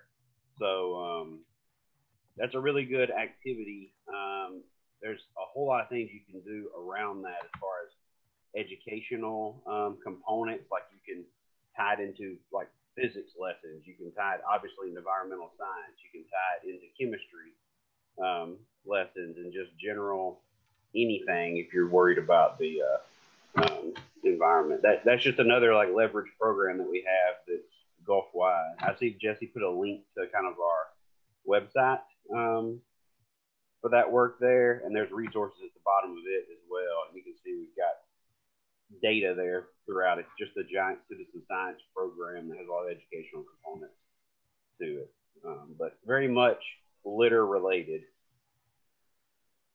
Yeah, so I actually really need to link this into our No Litter Movement website as well. I didn't actually think about this, but that would be a good thing to add um, not only to the No Litter Movement website, but also into that uh, Google Drive that I keep talking about. But I have it pulled up. So I put the link in the chat, but this is what Eric's talking about um, as far as uh, the microplastic sampling. Um, and it's got some examples of what we're finding. And he's right. Basically, any sample you take, you're going to find something. Um, I actually filtered. Um, I filtered some water for some students in Maine the other day, and I've done sampling before. Like I knew there was going to be microplastics in there, but I I still found some that it was just surprising to me for some reason that I still found them. Um, and it, it's very interesting to do, and it's a very um, it's a very engaging way to get you know the community and especially kids involved with um, seeing firsthand microplastics that affect them because you know here on the coast um, we see a lot of microplastics just by being at the beach. Um, that's just kind of a very common thing to you know find the nurdles or just little chunks of plastic and things like that. And that's kind of beat into our heads living here on the coast. But being inland you just don't really think about microplastics on that scale as much um, but by filtering the, you know, drinking water, bottled water, it is interesting to see those microplastics um, in a non-coastal setting. That's kind of interesting, but also a little disturbing at the same time. That kind of hits that uh, that litter movement home for sure. I want to add uh, a, a, very disturbing uh, little fact. Uh, if you haven't heard, there was an estimation done a couple years ago that we ingest a credit card size, weight, amount of plastic um, as humans. I don't know if I think that might be a yearly. It's not daily, um, but like a yearly yeah. estimation, and most of that plastic comes from our food packaging. Mm-hmm. Uh, like down here on the coast, we talk a lot about how the microplastics are ingested by the fish and the seafood that we eat.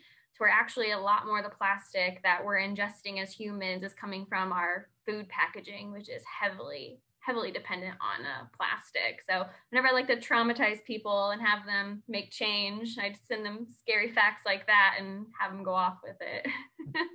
yeah, it does. That you know the the microplastic part. I don't know why.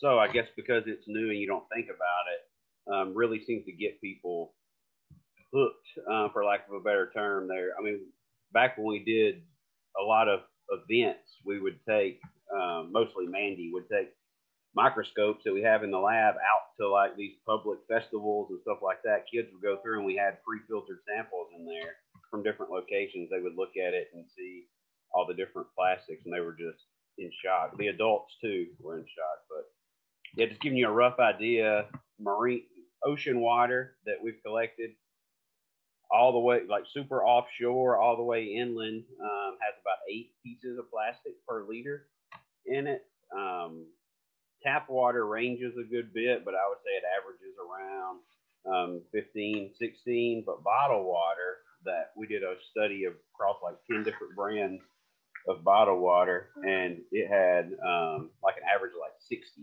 pieces per liter in it. So that's a lot because there's a lot of liters in the ocean. Yeah, like so, like I said, interesting but disturbing. And I and I kind of want to uh, preface um, just us working in litter removal and trash free education, just kind of in general, because this gets misconstrued quite a bit. Um, and Mandy and I have really talked in length about this. Is that we're not we're not anti-plastic. We're not going to shame you for using plastic straws or things like that because they do serve a purpose uh, to some people in particular, in some communities in particular. Um, but we definitely want to use less, um, use less or different alternatives. Um, but you know, our drive, our drive home message is really a change. Um, so just wanted to put that out there because sometimes that gets a little confusing as far as um, are we going to come slap a straw out of your hand for using a plastic straw? No. no but are we going to tell you about all the microplastics in your straw? Yes. so. Um, so I have tides pulled up. Oh, let me share. So I have tides pulled up. I wanted to show y'all that real quick. Um, just because it's interesting to see. So this is the um, Ocean Conservancy TIDES. So TIDES stands for Trash Information and Data for Education and Solutions. Um, so when Mandy and I do events, um, this is where all the data goes. And like we said, it's not just coastal, it's inland, it's not just the United States, it's global. and it's pretty um, it's pretty grounding to see how much trash people are picking up in particular areas. But it's also just like a really cool graphic you can look at as far as um, just being interested in where this trash is being picked up. So just to show you, you can uh, zoom in pretty far.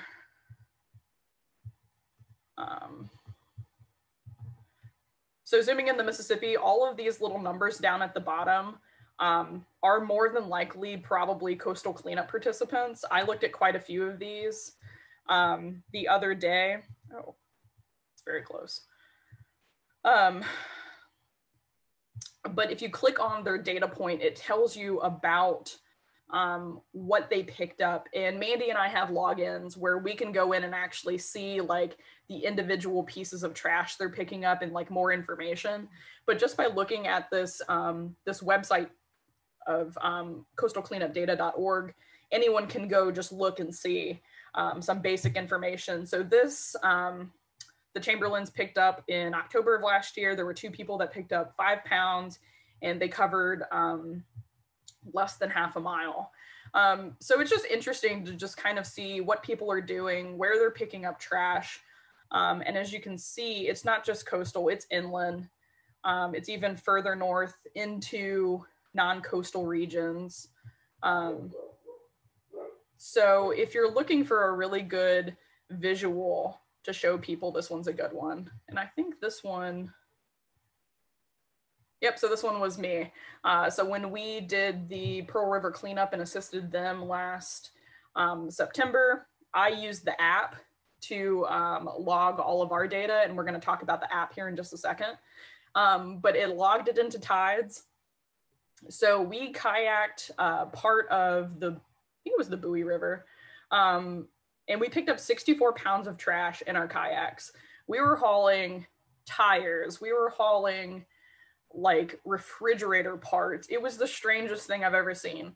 This one stretch of river was just so compacted with household waste that we we couldn't take it. We couldn't take all of it, but we were able to tell the Pearl River keepers like, "Hey, there's um, you know, there's a whole there's a whole mountain of trash over here that maybe you guys can go out with like a john boat or some sort of motorboat and go take out." But we were able to remove 64 pounds of trash um, and it's really cool if you have like a group, uh, Girl Scouts, Boy Scouts, um, 4-H club. It's kind of cool to like see your name on this map as well.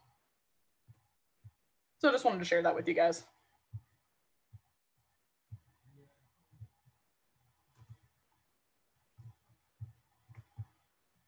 All right, so that was the physical data card um, for Ocean Conservancy, but they just recently uh, launched an app so the Clean Swell app is just basically the uh, electronic version of the data card.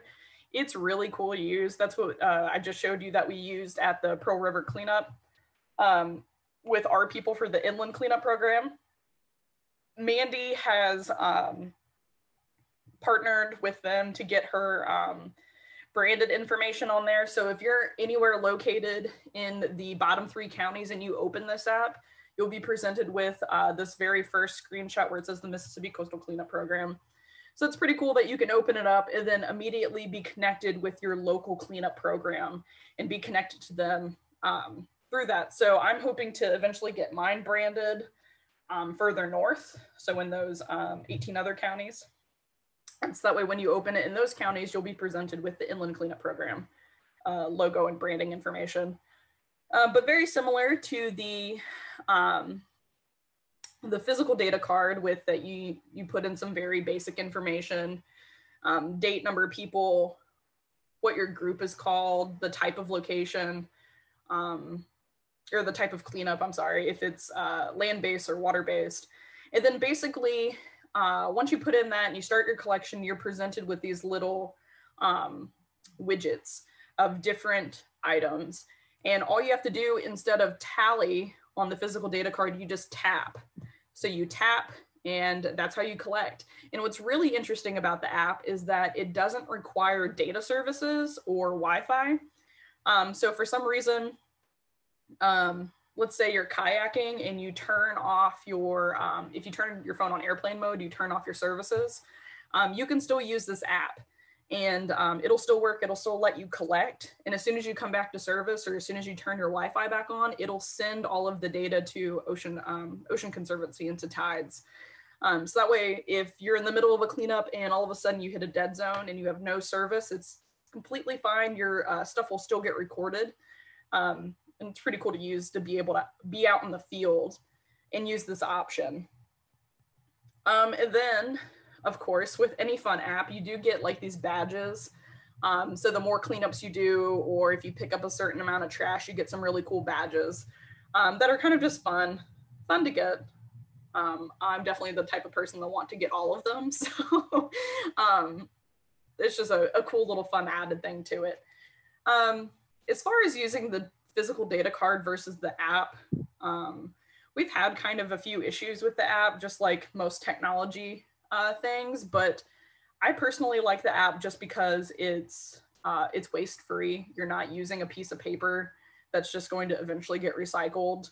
Um, as an aspect, um, you're not having to keep up with this piece of paper.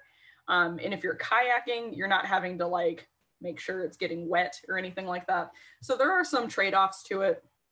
Um, it's a little glitchy, but at the same time, you don't have this extra piece of paper.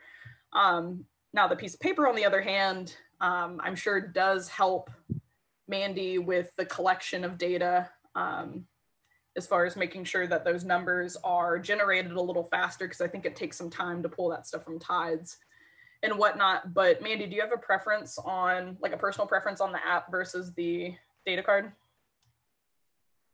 I I think my preference is just due to the fact that I've been using the paper data cards longer and the app is new to me.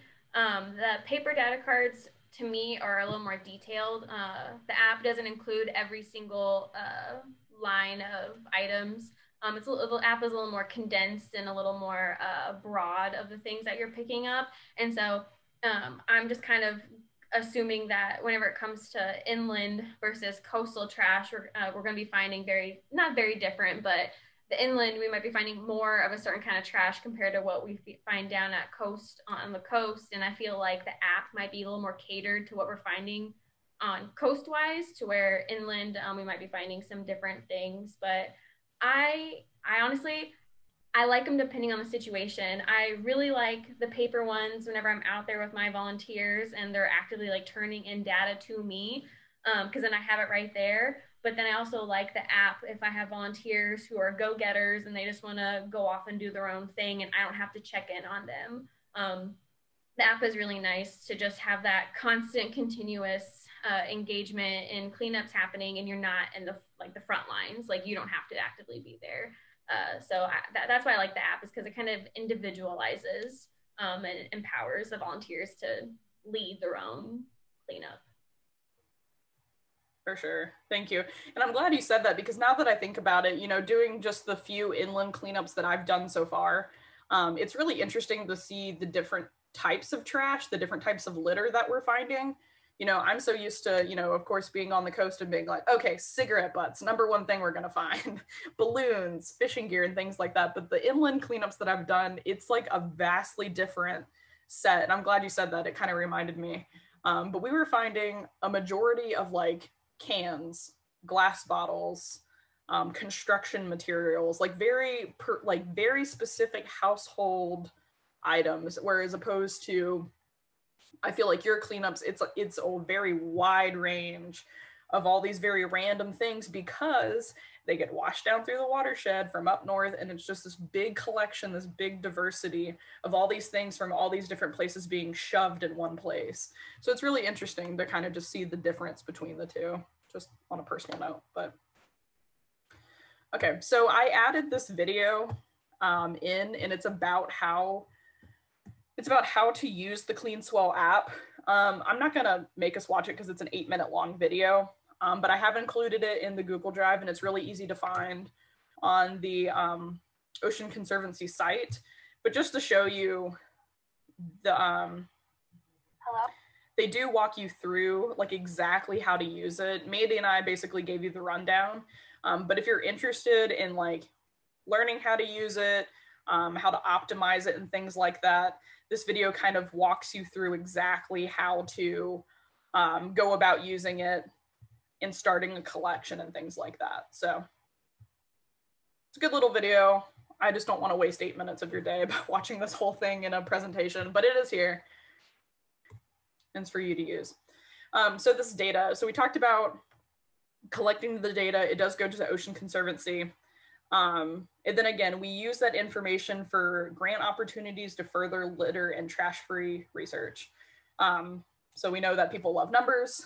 Um, it's it's more palatable to see these uh, you know these infographics that Mandy is making from her cleanups. I'm hoping to do something you know similar um, or around the same type at some point when I start doing more cleanups. Um, but really, it's interesting to see just how many or how much of stuff that we're getting because um, you know when you're doing a cleanup you're kind of in the zone of just picking up trash. You're just you know grabbing these things. The day is over. But could you really remember what you're getting but then to see these numbers afterward it's a little mind-blowing to see that you know there's 14,000 cigarette butts that we've picked up off the beach in a year one year. Um, and then how how many you know how many plastics how many food wrappers are out of that? What what are those things in comparison of our daily lives? And then how can that affect our daily lives as far as reducing plastic or making a better choice in the grocery store and things like that? So it's pretty cool to see you know an end numerical product at the end of the day of these cleanups. So that's really all um, all that i have as far as presentation. Um, goes. Does anyone have any questions? Do you think this is, uh, you know, do you think this was something that you're willing to take back to your community and just, you know, start a conversation about something that you learned? Or do you think that this training could uh, be easily adapted to better suit your expertise in a way?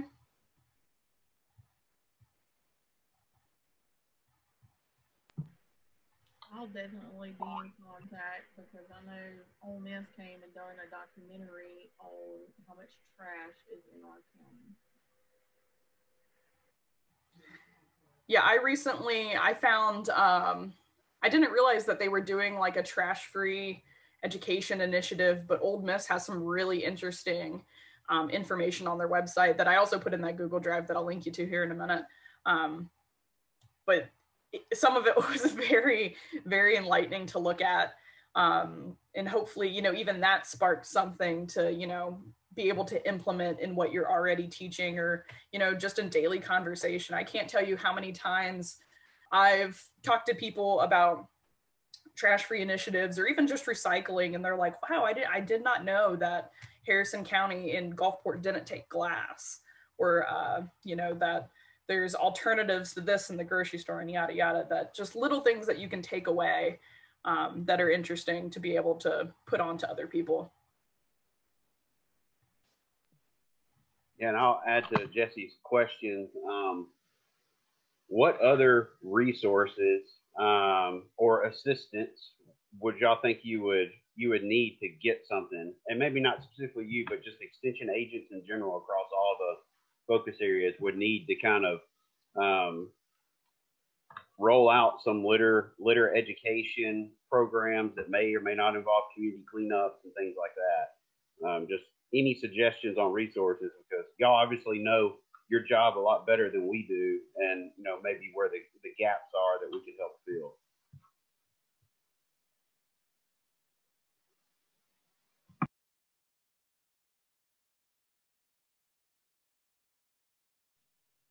See pretty good uh, response from just a little postcard mail out things. Um, so just you know doing like some type of mass mail outs, dealing with you know just a little small one-sided postcards, whether it's advertising an upcoming program that we have, or but I see a lot of a lot of response from them as opposed to kind of our old method of um, you know just mailing out letters announcing things and people can put them up on their refrigerator or, you know, whether it be advertising what is available for recycling in that particular area or so that they can remind themselves to sort through whatever it is or just anything like that or an upcoming, you know, program or a day of cleanup, whatever creek or river, whatever it may be. Yeah, so I'm, I'm guessing from that, like it, it would be beneficial if, you know, when we work together on these, on these programs and then maybe we could design little post postcards for mail outs and that, that kind of stuff, like on our end, on our, our team. Right, exactly. Either that, you know, that or just whether we um, do something just announcing what is available in your area. I know that, you know, it's kind of, which we do it on the, through the mail order or through the mail services thing where we get on there and like design a little postcard thing through the intranet, extension intranet. And, you know, we send it out to our clientele, which we have, you know, and we can personalize it kind of to our area or to our mailing list, whether it be what's available in our area, just to let them know, uh, whether, you know, not necessarily for advertising a particular workday or in particular, but just letting, getting the word out what's available in our area or, you know, what type of recycling is available to not include glass if you live in Harrison County, you know, or not put certain stuff or do separate out the paper products versus the plastic and all that in your versus in your garbage versus your recycling bin. Gotcha. Um, this is this is me just not knowing the MSU system from the agent side too much, but whenever you do those type of mail outs, you order them through campus. To, is that covered by 18 funds? Like that's covered by the extension budget? Because I mean, on, on, it is. Correct. Okay, so like we could design, we could design something um, at give it to y'all, upload it through that system, and then it could be distributed that way. Okay. Yeah, I don't know what it is. I think it's like if you get if you get grants, they expect you to pay for everything by yourself. It's just like okay, you can't use the state funds anymore. Um, so yeah, I mean, we don't get to tap into that at right. all. And we have a big we we do a multi-county newsletter. Me or Lamar, Forrest, Stone. I mean, it's a bunch of us. Harrison, um, Pearl River. There's we have I don't know probably close to twenty thousand contacts on that that we mail that uh, mail or slash email that newsletter to every month. Um, and you know we'd love to have something even included in that if you know if y'all are interested in getting something out writing an article you know a little short article about you know what co- events coming up or something we'd love to have y'all participate in that as well. Yeah, I had thought about, you know, in particular, my program being expanded to so many counties. I can't be in one place, you know, all the time. I thought about making um, like a, a newsletter, almost like an, um, you call it? the like the email newsletters that go out that could just be like forwarded on to people that has, you know, just local information or highlights about particular counties.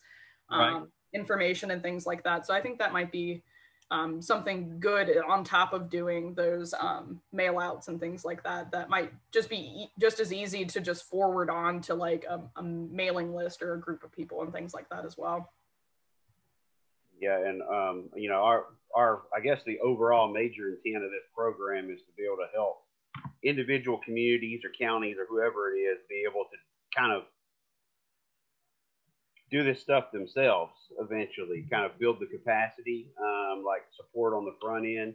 And then hopefully by the time the grant ends three years from now, there's enough momentum that, you know, they collectively, the communities want to keep doing this stuff. Um, so I, like, I would much prefer that the communication go out through the community members that we're kind of operating behind the scenes um, to like get you the info that you need, support all that stuff to get it out um, I think it'll be received a lot better than that because they know y'all, they don't know us, um, and all that. So that's, I guess, just keep that in mind whenever you're thinking about potential leverage points and opportunities. Like we're perfectly fine just being uh, in the in the dark in the corner and just trying to help help everybody get stuff going as best they can. Have y'all ever thought about doing a social media campaign? Because I know a lot of us have got county Facebook pages, and like Ross said, the postcards get more attention than letters or flyers. But some of us that are got old school people, they still read the newspaper. So social media and the newspaper are also good ways to, to contact individuals. Um, so yeah, so Mandy and I try really hard to be uh, very present on social media. Um, let me give you this. So if you're interested in our social media accounts, these are these are it. Uh, so for our two programs, the best one I would say to go to is nolittermovement.com. So like I said, that has way more resources that are kind of catered um, by state and they're also catered by program. Um, so we're hoping to, you know, anytime that we necessarily have an event, uh, we're trying to be really good about like creating social media events so people can, you know, kind of virally share those and get it spread through basically like electronic word of mouth i guess is the way the way it works now um, and just making sure that we're getting it out as many ways as possible um, we also um, i would say try our best in getting into a lot of print um, places which end up electronically i know we've done quite a few articles for different um, newsletters or magazines and things like that just to get the word out about these places. Um, but definitely for sure trying to um, just spread the word more and just getting it out there as far as uh, what we do, where, where we are, where we'll go, and um, you know what we're here for. So going back to what Eric was just saying too is that you know we are here to help you guys. You know we are a tool um, to be used, um, me especially inland, if if you have a question in particular about your county, if you're just curious as, um, you know, how does composting work? How does, here's my recycling uh, website for our county, but I don't quite understand what it means here. What does this mean? That's pretty much the purpose of my position almost. So, I mean, you can shoot me an email. I don't mind emails like that. Or if you're just looking for what's my, what's my local resource for, cleanups or events or what's near me that I could use. I'm definitely here to help you make those connections as well. Um, just like I would hope that you would help me connect to those local places that I might not know about. So, yeah, I think that's a key point too. Is like even because we all know that y'all are extremely busy. So um, even if you think like, man, this would be a good thing to partner up with this organization, maybe it's a Keep uh, Mississippi Beautiful chapter, or maybe it's a I don't know we've been working with a, a women's club through Dawn. Uh, mm-hmm. It's a group like that that's like, man, they could really take this and run with it. And they've got the time, um, resources that can help with that. And, you know, help put us in contact with them and we'll uh, get them going. Any, I mean, our main goal is to get, reduce the litter issue, however we need to do that. So, um, yeah, just let us know how we can help. Yeah, so here to help. Definitely follow us on social media to, you know, stay up to date. The, the easiest one to remember is nolittermovement.com. Um, we purposely created that to be easy to find. Um, so you're not trying to search Instagram for all of our different handles um, and things like that. Um, so I will send you guys this PowerPoint because I know it was just lengthy. Um, so I can send it to you guys um, if you're looking to scroll back through and find something in particular um, or if you want to watch that eight minute video on CleanSwell. Um, I also do have that Google Drive that I just linked. So let me show you that real quick. So this is what it looks like when you get into it. Um, so this drive in particular is just basically a dump of all the all the things that just comes across my desk basically. Um, so I just have this wealth of knowledge that is is good for me to know, but what does that really do if I'm not using it? So why not put it all in one spot for other people that it's more applicable to to use? Um, so I plan to um, update this as I go. So it's got lots of cleanup resources. If you're interested in using the CleanSwell app, um, here's that video. There's also a poster. Um, this is the actual physical data card you can print, or we're more than happy to send you some if you want the hard cardstock copy. Lots of K through 12 resources. Um, I've got lots of cool videos on cafeteria waste, composting, there's different activities um, that are pretty quick and easy to um, just add into curriculum. Um, and this is just really the tip of it. I haven't had a chance to upload everything I have on my computer quite yet, um, but it's going to be really robust at some point. I've also got, oh, I need to add a, quite a few uh, journal articles. If you're looking to um, actually read the scientific article that backs the data or backs the information to these activities, I'm going to have those in there. And they're going to be split up by, uh, you know, the different categories. Like if you're looking for specific information on plastics, there's going to be a folder for that. If you're looking for specific information on um, making better cho choices in the grocery store, shopping, and things like that, there can be a, a section for that as well. So I put that link um, in the chat. Um, that link is specific for you guys. Um, I don't think you're able to share it past that, but you can definitely like download the resources and share those as well. Um, so hopefully that's helpful for you guys to use. Um, I just thought it's something we probably should add a like um, funding sources folder in there because we just had this happen. There was we get emails with a bunch of grant opportunities like y'all probably do too, and some of them we're not eligible for, but schools are or, or organi- other organizations are, and we just we connected and helped um, a element or no, middle school, I guess, in um, Jackson County with one of theirs, and they just got like water bottle refillers for their school funded through the the grant. Um, and they're working on a cafeteria waste thing too. So yeah, there's I think that could be useful to like mass blast some of that stuff sometimes.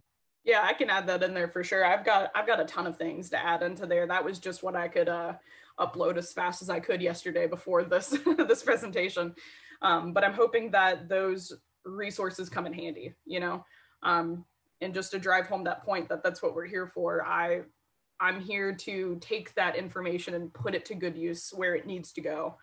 Um, and that's that's all I have. If Eric or Mandy have anything they want to jump in on, uh, definitely appreciate you guys uh, registering and coming and listening to us talk trash for two hours. and hopefully it was helpful and hopefully that you um, find something that you want to take back to your community and let us know if we can uh, do a better job of doing that.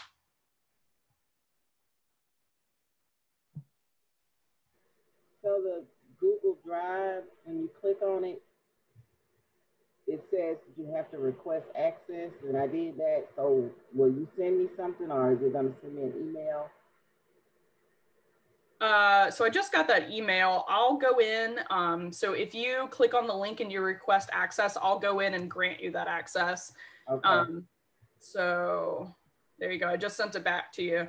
Um, right. So if you click it, it'll email me directly, just letting me know that you're uh, you're knocking on the door to be let in, and I'll make sure that it grants you access to it. Thank you. And I'll, um, instead of sending this PowerPoint to you, since it's, it's a pretty big file, I'll just upload it into the Google Drive and you can have access to it that way.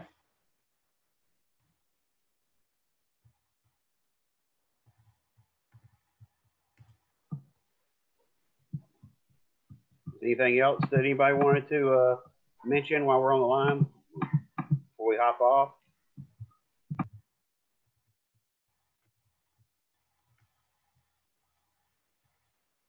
Alrighty, well, thank you guys. Definitely appreciate it. Like I said, um, if you're interested in suggesting a cleanup, if you want more information about, you know, anything in your particular county that I might have connections to, or if you want to share something, you can definitely email me. Um, it's jesse.james at msstate.edu. Um, and then you can find all sorts of resources over at nolittermovement.com as well. So thanks, guys. Appreciate it. Have a good day.